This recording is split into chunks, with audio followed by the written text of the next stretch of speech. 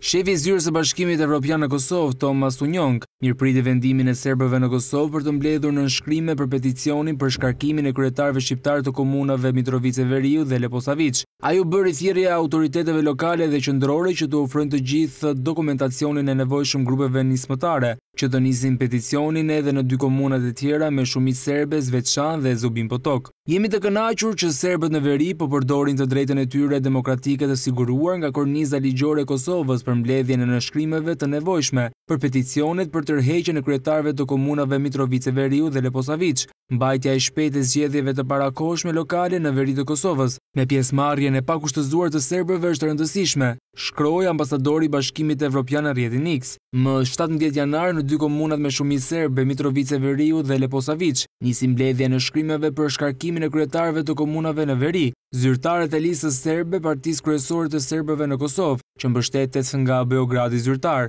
u dhe hoqën këtë organizim,